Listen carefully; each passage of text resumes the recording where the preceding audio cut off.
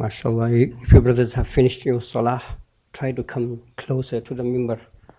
I'm speaking slowly, softly, because there are still some brothers are praying their salah. So we don't want to disturb them as well.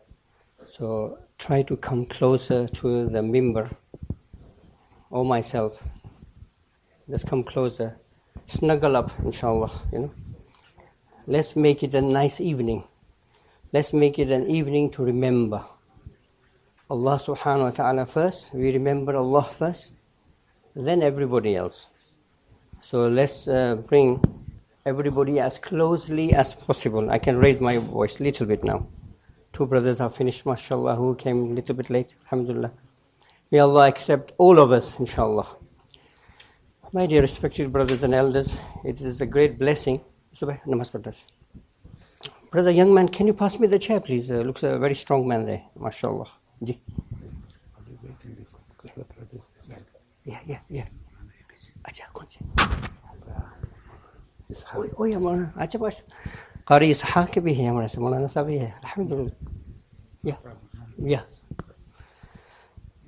MashaAllah. Brothers, come closer, inshallah. If you are sick uh, and uh, not well, you are more than welcome to help the masjid, uh, the wall, you know, you can keep it up there, you know. The wall, we don't want the wall to fall down. So if you are not well, please stay there. If you are well, and then actually the wall is quite strong enough; it won't fall down, inshallah. So. Anyone have a Nissan Almera? Oh yeah, yeah. A white Nissan Almera is blocking some brothers in. Any Nissan brothers? Any? Oh yeah, oh, Maulana Sahib, mashallah. Hazrat is our, one of our guests. So please uh, excuse him. Mashallah, somebody is going to move for Maulana. So my dear brothers and elders, as I was saying, the adab of sitting in the majlis is that the more we listen and the more we sit closely to each other, it is said that at the time of Nabi sallallahu alaihi wasallam, that when a program like this takes place, used to take place in the presence of our beloved Prophet sallallahu alaihi wasallam, it is said that if you were to throw a sheet, sheet of cloth over the people, there won't be any gaps in the middle but here I can see many gaps, you know. So please, the closer we will sit, Allah subhanahu wa ta'ala will unite our hearts. The reason uh, for having this kind of programs is that we unite ourselves. In today's day and age, it's very important. It is important as much as that how we are closely in the family, as in our one whole household family, how close we are, brothers and sisters and so on. So so this is a family. We are a family of brothers here, sisters or family at home, mashallah. But with this one ummah.